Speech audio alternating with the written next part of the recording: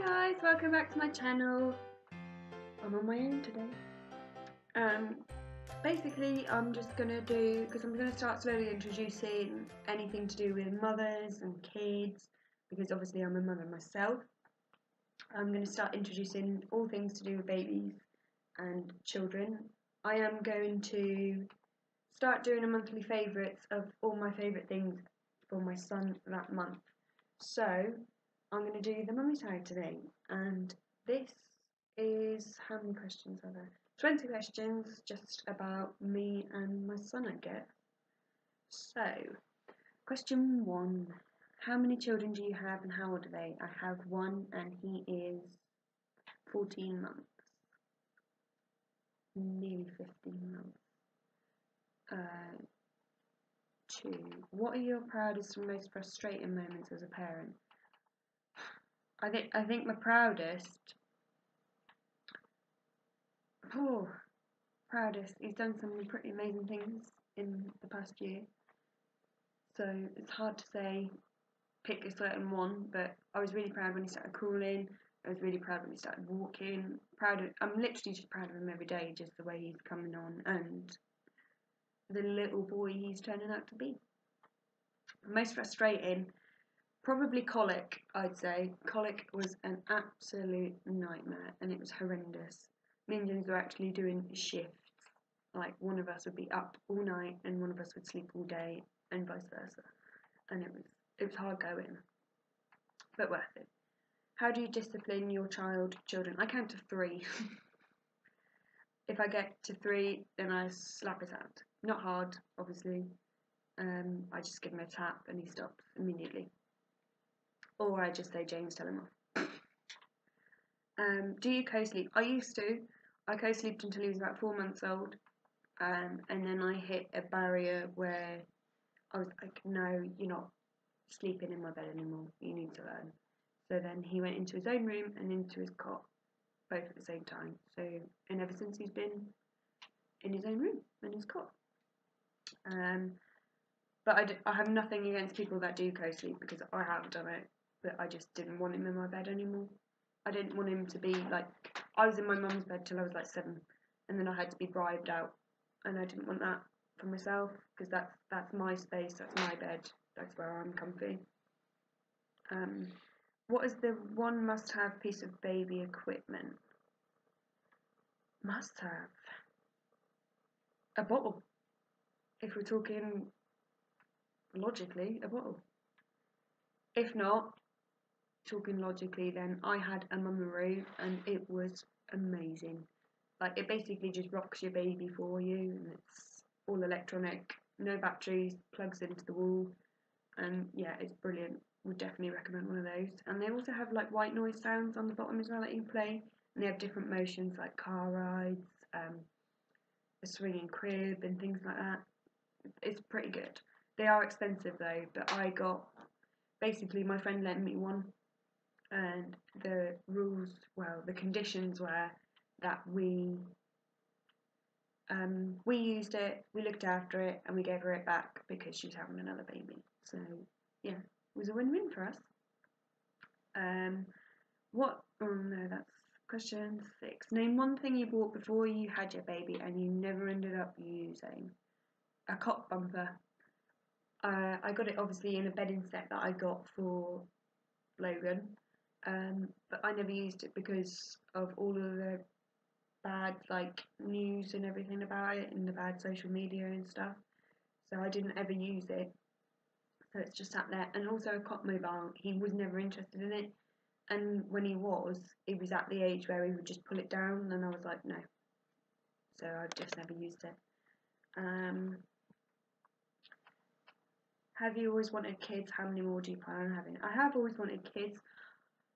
I've always wanted to have them at around about my age as well because I wanted, I know it sounds really selfish, but I wanted to get my life back on track by the time I was like 40. I didn't want to be doing the school run at like 60. So, no offence to people that do at all. But, yeah, I just wanted to have kids young and so did James, so we did. Um, what was the other question? How many do you plan on having? we have spoken at the minute. We're in two minds um, because the pair of us are really enjoying Logan on his own 100% at the minute because he's so comical, he's so funny, and he's such a lovely little boy. Um, that we don't really want to share that love yet, if that makes sense. But we do want another one. It has been discussed, and but we only want two. And no offense, all the people out there, but we do only want to. I think everybody has their own personal preference, and that's just ours. Do you think your relationship with your spouse has changed since you had children, better or worse? Yes, it has changed. Of course, it's going to change because they're not your number one priority anymore. Your child is, and that's just the way things go. And if your partner doesn't understand that, then he's an idiot, basically. Um, date night. How many nights or days per month? Me and James are pretty lucky. We get my mum has my son once a week during the day, so we get a day to ourselves.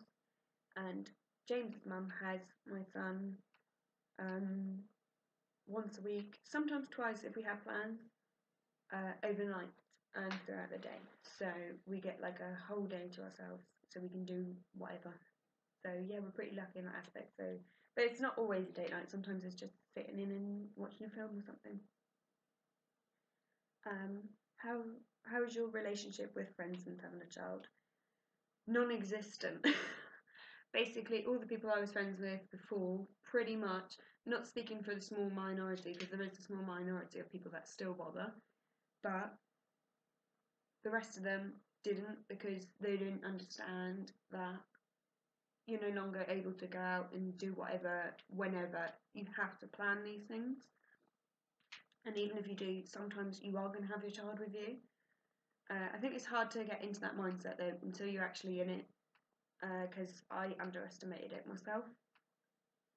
Uh, I think everybody does, and I think if you say that you knew what was coming before you have kids, I think you're a liar, point blank. Because you, you're going into it blind, you don't know what's going to happen.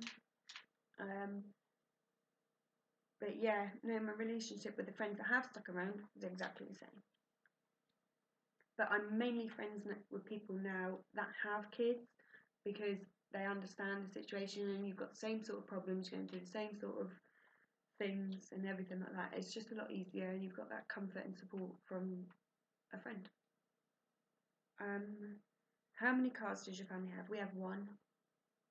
That's all we need um, dream vacation with your kids and one without the kids. Dream vacation with the kids. Oh Christ.